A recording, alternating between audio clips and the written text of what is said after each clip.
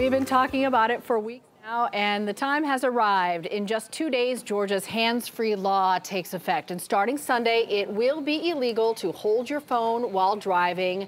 But there are a few gray areas, and we've been flooded with questions about what you can and cannot do. Tonight, though, we've decided to answer those questions by hosting a Facebook Live for you. So hopefully you can send any questions you or family or friends have, and we'll take care of those for you. Sergeant Greg Feltman from the College Park Police Department, nice enough to come and offer some guidance for us. You say one of the biggest questions you've been getting is, is there a grace period?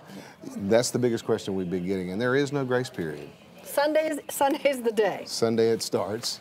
Sunday is the day to change a habit, and you say the law is really aimed at changing a habit to get the phone off your lap and out of your hands. Basically, to get it out of your hands. It's a behavioral change so that you pay closer attention to the roadways. What what parts of the law do you see as having a gray area where people might feel a little confusion?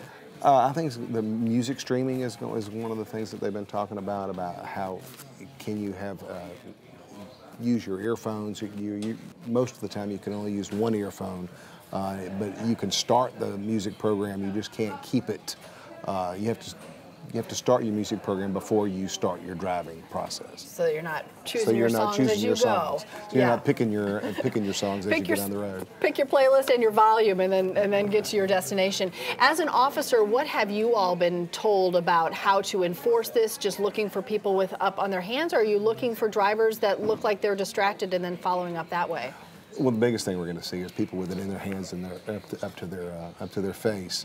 Uh, like I was telling you before, you know, traffic uh, infractions are discretionary. Uh, we're not required to write everybody for every mm -hmm. offense. Uh, so I think it's going to be more set upon the officers to, to look for very egregious uh, type uh, offenses. Do they have the phone in their hand? Are mm -hmm. they mm-hmm. manipulating it in some way to send a text or things like that?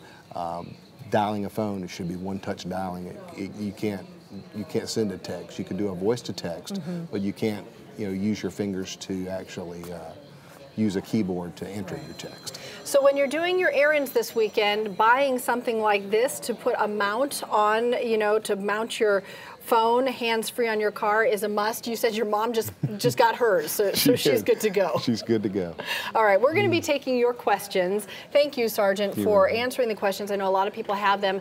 Let us know. Our Facebook Live is going to start at 5.30, so you can log into Facebook, join Sergeant Feltman, who will answer whatever questions you have about this law. Look forward to those questions coming in, and, and happy shopping. My phone's too heavy for the one I have in my vent, so this is on my list this weekend, too. Ryan?